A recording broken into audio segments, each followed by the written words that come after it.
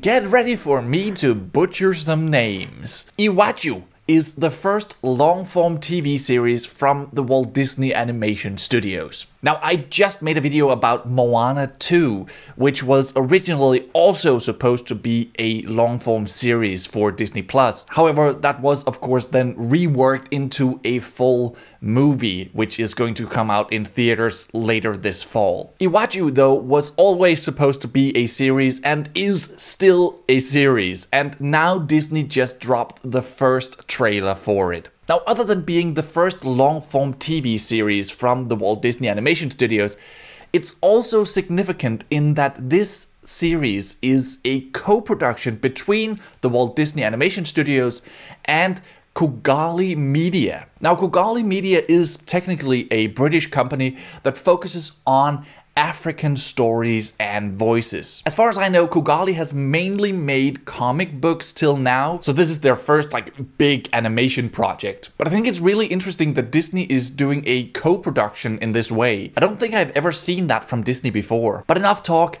let's check out the trailer. That's so cool. From Disney Animation and the groundbreaking storytellers of Kugali. There you have it. Happy birthday, Tola. This is Oti. You want stars for a pet? It's great. It looked weird. Disney Plus limited series. What would you say if I asked you to go to the mainland? I mean, already the the lizard looks a lot like Nigeria. Disney See animation. the real Lagos. Looks like Pascal or something. Go. Or the little lizard from Frozen 2. Nigeria. Okay, so it's has Lagos well in Nigeria. This is how to fish in large rivers. Otin, where's my daughter? She's your responsibility. Oh, so it's a robot. Be careful, oh. Some of these people are actually dangerous. I laugh in the face of danger. I didn't hear you laugh, oh. Tola, I got you now.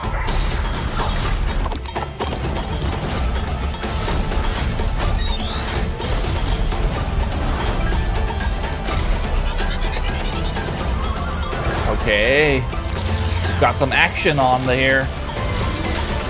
Oti, Uh, Uh, wait, wait, what is the lizard a transformer or something? kind of cute.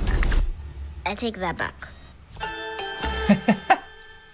I think that looked pretty cool. And I think the aesthetic of this futuristic Nigeria is amazing. I think the whole setting looks really, really cool. However, I felt like some of the animation looked a little bit cheap, maybe. Like it wasn't totally fluid, it was a little bit basic, especially the characters' movements. I mean, it probably has been a lot cheaper than what you might expect from a full feature length Walt Disney animation production. I have no idea of what the budget might have been for this series, but I think it looks pretty cool. Like I said, that lizard looked very Walt Disney animation. I mean, it is basically just the cousin of Pascal or that fire salamander from Frozen 2. I think you can definitely see in the character design that this is very much a Walt Disney animation production. But then I also feel like you can sense that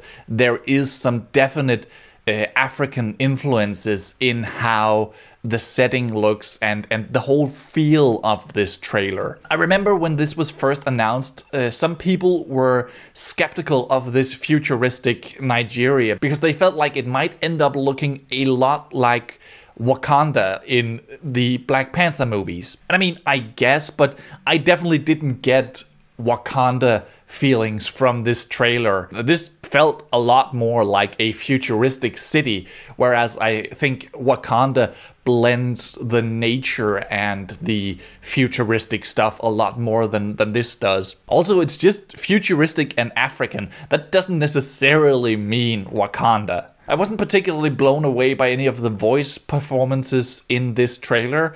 However, it is a trailer, so you can't really say much from this. Also, the two main characters in this trailer are kids, so yeah, Kid voice actors might not be where you'll go to look for the most impressive performances. I do, however, think that I'm going to reserve judgment on the voice performances till I actually watch the series. But that apparently won't be long because all episodes will be available on February 28th. So, like, in two weeks! What's up with Disney just casually dropping a whole series on us? I'm pretty excited. I'll definitely be ready to watch this on February 28th. But what about you guys? What did you think about this trailer for Iwaju? Are you excited for this kind of co-production with Disney? Let me know in the comments down below. And while you're down there, make sure to leave a like if you enjoyed this video and feel free to subscribe to the channel if you want more videos from me. But with that said, that's pretty much all I had for you today. My name is Martin Riise. Thank you so much for watching, and until next time, take care and so long.